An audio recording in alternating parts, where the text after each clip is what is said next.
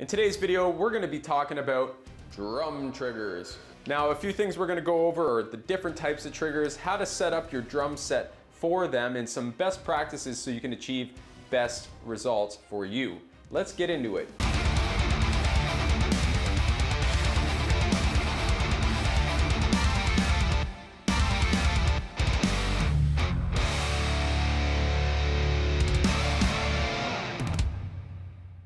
All right, so what are drum triggers? Basically, it's a little sensor that either goes under your pedal board or attaches and mounts to your kick drum so that every time you hit it, it sends a signal out the other end and into a brain that we drummers like to call a drum module. If you're not familiar why we use these, it's because a lot of metal drummers that play live or even in studio play some really articulate stuff, whether it's double strokes or single strokes, and we find it really difficult to cut through a really dense mix of guitars, so that's why we like to use triggers live especially. And in the studio, you can use a couple different tricks using triggers and I'll show you that as well. This version of a drum trigger is called the foot blaster. Now this goes under your bass pedal. Every time you hit down on the bass pedal, it sends a signal through this pickup so to speak, and then out this quarter inch jack. When you're triggering an acoustic drum set, there's a few things you wanna keep in mind. I'm gonna show you a couple best practices here to get you on your trigger happy way. So let's go to the kick drum here. Now you notice I got a kick drum mic in here. I still use that, but I like to blend a trigger sound with my kick drum mic sound. But what I really wanted to show you was what's inside the kick drum. Stuffed in here is just a bunch of old blankets and basically what we're trying to do is deaden the batter drum side so that you don't get any mis-triggering. Now on this side you can see that the skins are actually touching right up against the batter skin. Another thing you want to keep in mind too is that you're going to want to tighten this up quite a bit. You want to tighten your batter skin so it's almost tabletop tight. Now the reason for that is so that you get proper strokes and you get a proper trigger over to your base mounted acoustic trigger. This is the foot blaster version I was showing you guys earlier. So you can actually just bend this little tab here according to what footboard height you're using so that every time it hits, it sends a proper signal. Now what's really handy with these things is that if you're playing on stage and there's a bunch of low end rumbling happening, you won't get double triggers. Now, if you do mistakenly hit this, obviously it will go off, but you can adjust it accordingly so that you have your sweet spot dialed right in. In my current setup, I'm using the Roland RTK 30 or RT30K, I believe it is. Basically, it's a surface mount version of an acoustic trigger and it just locks on to the rim of the drum right here and you just screw this on. Next, I'll show you how it's routed and how you can get this thing up and running. So what you're gonna wanna do is get a quarter inch cable. So you have this to plug into your drum module. So basically that goes from there all the way into your drum module over here.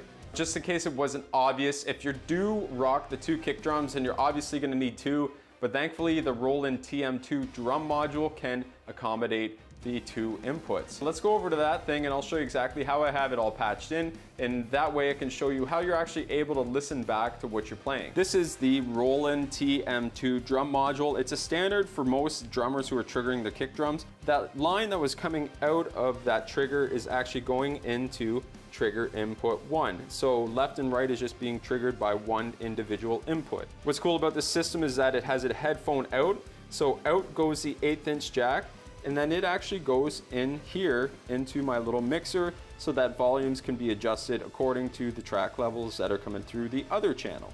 Now there are a bunch of different settings that I can go through in here and show you, but I do have another video and I'll link that above in a card so you can go and check it out for yourself. Another thing that's worth mentioning is that at least once a month somebody emails me asking for drum samples, so it's your lucky day.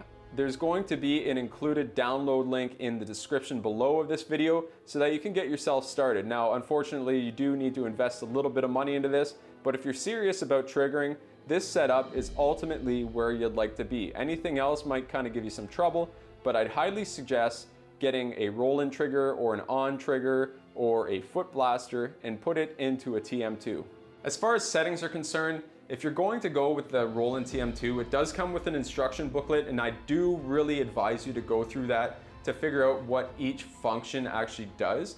So because you are different than I am, my settings will not necessarily reflect how your settings will be on your TM2. If you want to trigger your stuff, that is the equipment that I suggest for you to get If you don't have enough money or it's not in your budget for that, then I suggest saving up your pennies and then you can work towards getting that complete setup. If you want to learn more about drum triggering, just drop a comment down below and I'll get back to you as soon as I can. If you have any further topics that you'd like to discuss or for me to create a video on, please do let me know and I will see you in the next video. Thanks so much for watching.